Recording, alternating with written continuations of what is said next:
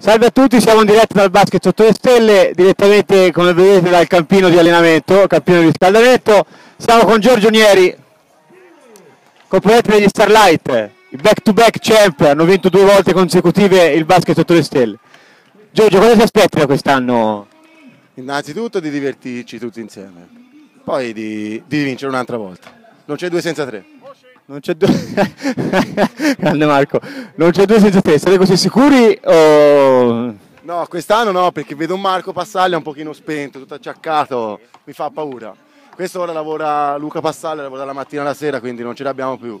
Ecco appunto, volevo chiedere l'MVP dell'anno scorso, Luca Passaglia, come lo vedi? Perché sei vicino a lui. L'altro anno ce l'ho sempre qui, è una ferita sempre aperta. Però no, dai, l'MVP spero di vederlo bene.